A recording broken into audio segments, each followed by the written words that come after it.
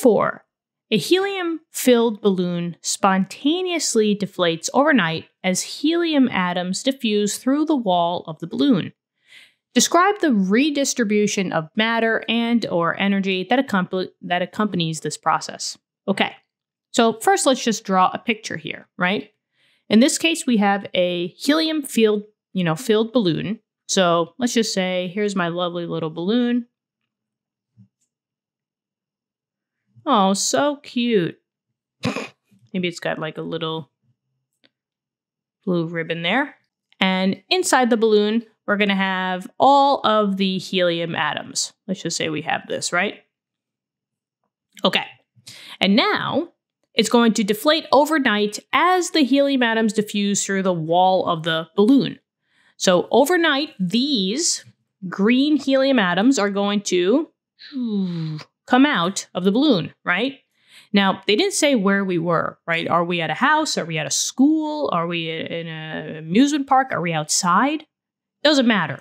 The thing is, is that wherever we're at is larger than the helium in the balloon. So let's just say that we are in a house. I think that's easier, right? And the house is much bigger than the balloon. And oh my goodness, let's let's try to get Christina to draw a house. This is a oh boy.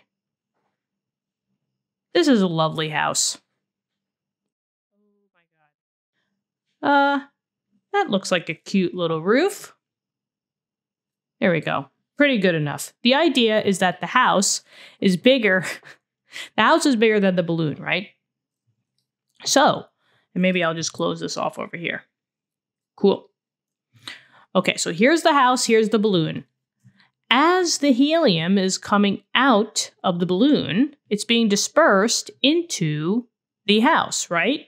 So we have one atom going out here, we have another atom going over here, one going out over here. As you can see, as they're entering, they're going in a much larger area, right? They're allowed to escape the balloon and go wherever they want. We got three more. So maybe one comes over here, one goes up here, and then the other one goes over here. And because of that, the balloon is deflated, right? So the balloon is kind of like, you know, wah, wah, deflated. It should be on the ground, but, you know, no one cares, right?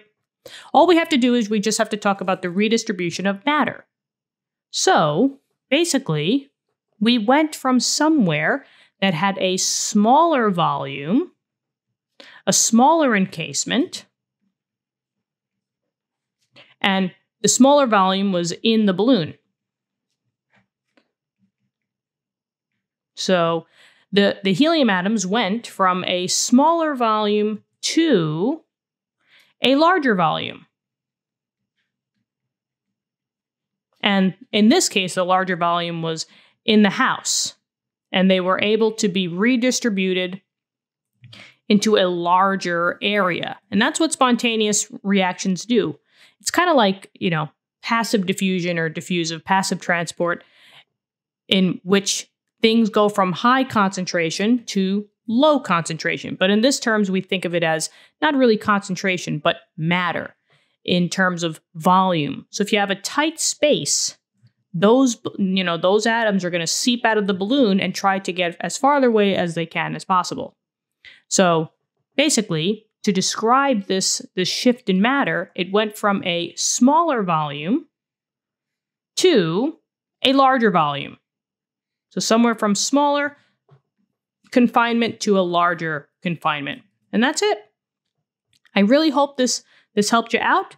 Let me know in the comments, subscribe to the channel, and I hope to be, you know, talking to you soon. I love helping you guys out. Let's keep rocking and rolling. Good luck on your future tests and quizzes. And I'll talk to you soon.